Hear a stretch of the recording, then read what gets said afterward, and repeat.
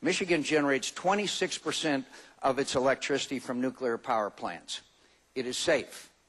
It is safe, my friends. We have sailed Navy ships around the world for 60 years. For 60 years, and we've never had an accident. That's because we've had highly qualified and skilled people running those nuclear uh, uh powered ships.